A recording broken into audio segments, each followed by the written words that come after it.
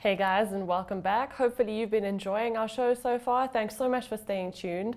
If you like what you've been seeing so far in terms of the career videos and the example videos, also the introduction videos, just have a look see at our Tenfold Live education app. It is fantastic. It has so much more great content on it. It's really there to help you with your maths and your science. We're working on all three grades in FET. We're working on grade 10, 11, and 12. We're here to help you. We're here to get you to completely crush your matric. You guys are our number one priority. Thanks again to Liberty for sponsoring our show. We couldn't have done it without you guys. You're fantastic. And thanks so much, all of you guys, for sending in your questions. We really do appreciate your input. You guys are such rock stars. Um, lastly, I have a question that I've actually chosen myself. It wasn't sent in by a learner. I decided to do this question just because it allows me to go into 2D and 3D trigonometry without having to work with numbers and stuff. Because the moment you have to start using your calculator, sometimes gets a little bit nervy when you have to use your ratios and things. So I actually wanted to do this question just to like help you guys understand how to transition from 2D to 3D, how to incorporate different triangles in your work in, etc. I'm actually just going to go through it as if like where I was doing a lesson with you guys, just so that you know how to look at your stuff. Because I know for me, if I look at a geometric question, I automatically see the relationships because that's just how my brain works. But I know that there are learners amongst you guys that you don't see the shapes and the relationships in everything. So I really want to try and go through this nicely and slowly and explain everything so that you know what to look for if this isn't the stuff that you automatically understand. So I'm going to jump right into this question. Hopefully this helps you guys. And please, if you have any questions and feedback on our show, post it on our Facebook page. We really want to know what you think, what you're struggling with, what you think we're not doing well enough, because honestly, you guys dictate our show. We're just here to help you. We're not here to make ourselves look good. We just want you to crush your matric. Okay, so let's jump into this question. It reads, in the diagram below, D is a point vertically above C. Okay, I didn't put that in my diagram, so I'm going to say C is over there. Because this is vertically above here, it means that it's perpendicular. It says that DC is y meters in length. Okay, that's given to us on the diagram. And it says that the angle of elevation of D from B is theta. Okay, so that's just that little angle there. It says that angle DAB, the whole angle here, is equal to alpha and the angle DBA, which is that whole base angle there, is equal to beta. Okay, guys, so when you get a question that looks like this, what we're trying to test you in your matric is your ability to see that that base of that triangle there is a flat surface. And then you have basically like a tower standing perpendicular to that surface, and then you have two cables coming down from that tower which makes the whole thing a 3D shape. We're testing your ability to look at this 2D piece of paper and understand that this is a 3D scenario. Okay, so the first question in this says, determine the length of dB. Look at me in my fantastic English because I'm a maths teacher. Determine the length of dB in terms of y and theta. Okay, so let's look at the variables we need to be using. Okay, first we're looking for dB. We need y and theta. Okay, so the moment you get a question like this, identify the side they want you to look at, identify the variables you're supposed to be using, and try and find a triangle that incorporates all three of those variables. Okay, so if I look at this diagram, I see that I have a lovely right angle triangle that has all three of those elements that we need to be using.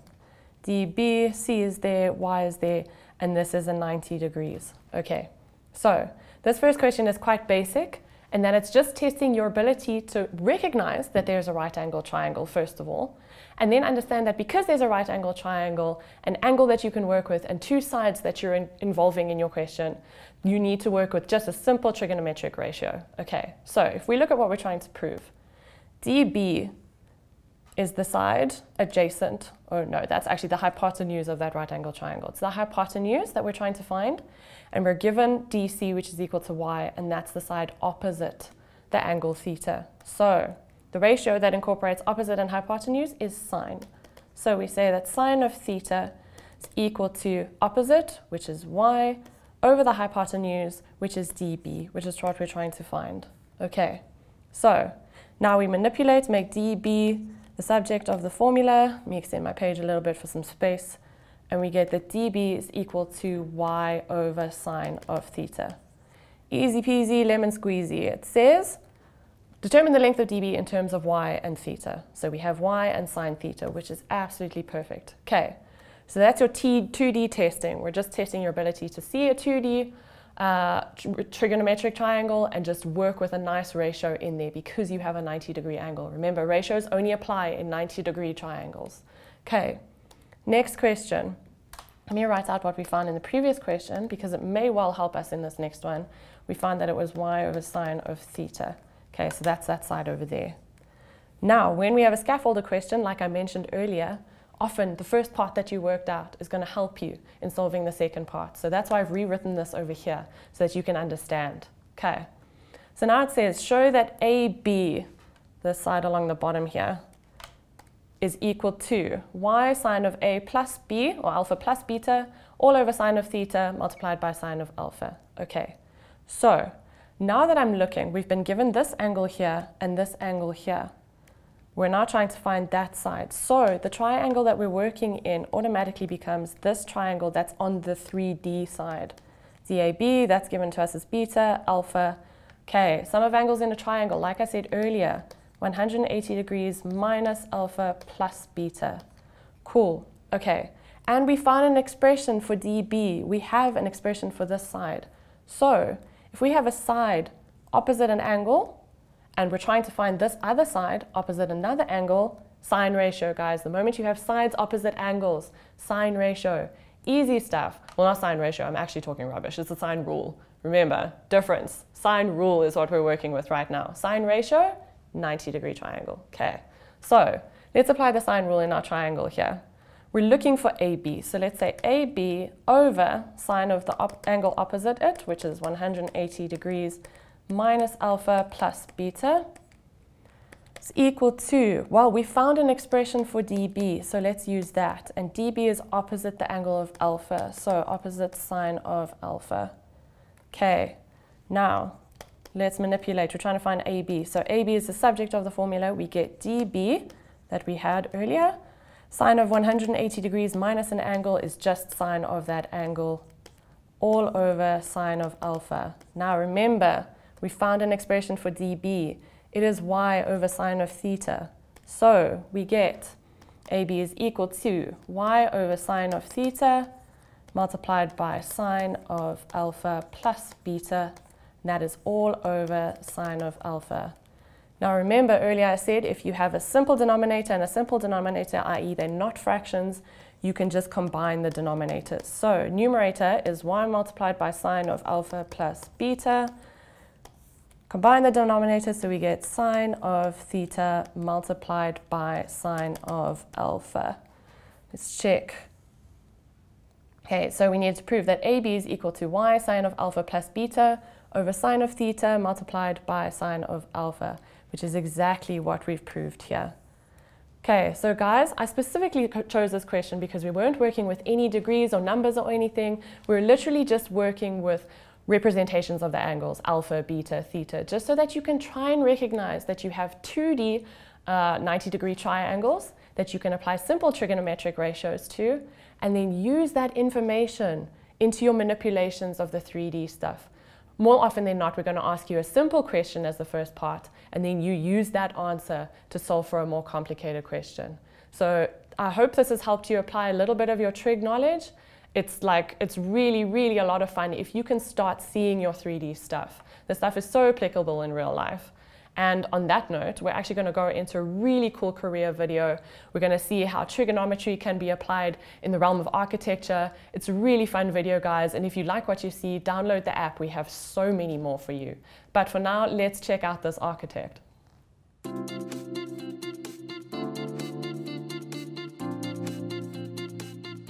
My name is Kevin Steyn. I'm a professional architect.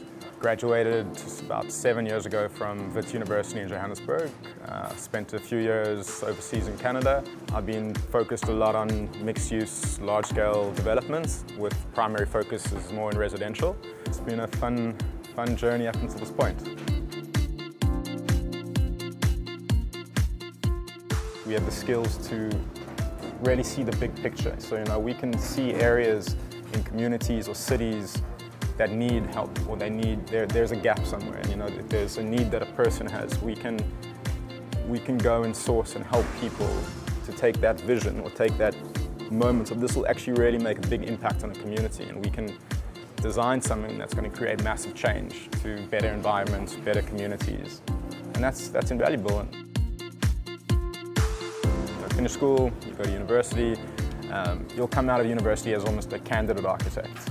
And from there, you will go through a couple of years, and then you'll become an architect, like a professional architect. And then you're going to go, say, within a 10-year period, you'll do a senior architect. And within the spaces of practices, you'll go from an architect to an associate to an associate director, then to like director, and then it can scale across. It's really incredible to have this vision on like a piece of paper and then translate it into something that is this physical, built setting stone element of the world.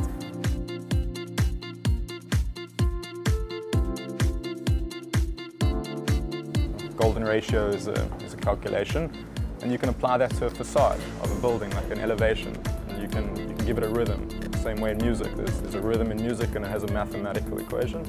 Other areas are, um, I know today with the sustainable movements, the green energies, there's a lot of um, comfort calculations, there's a lot of thermal calculations, energy calculations, and that requires mathematical understanding. Also in structurally to understand vaults, domes, bridges, all of that has mathematical understanding. And then one can also, in a way, you know, you can look at calculus and bridges and parabolas, and, and those are definitely, and also angles, just simple angles of buildings.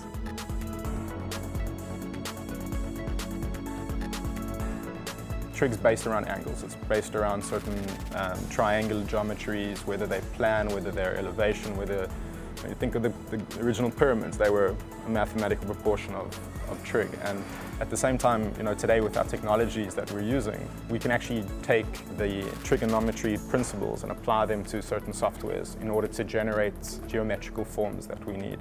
Still working at angles, I'm still using sine, cos, tan, and all those different things from trig that I still use today. And maybe not as intricate, but I needed to know the basis on which to, to do what I do. What is happening more and more now with our technologies is you can start to input formulas, uh, mathematical equations. You can use that mathematical coding in the software to build three-dimensional forms. And also, um, some of them are getting more complex where you can go down to base coding, where you can input numbers and through graphic means, and they'll, they'll generate forms for you.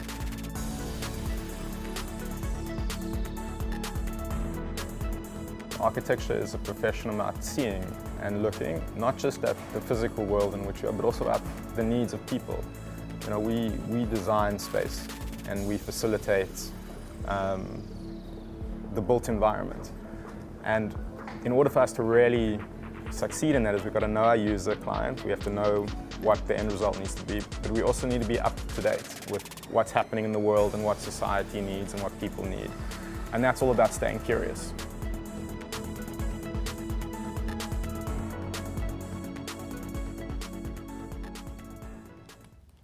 Yes, guys, that sums up another one of our episodes. Thank you so much for tuning in. And to everyone who sent in questions, you're the best. Thank you so much, Liberty, for sponsoring us.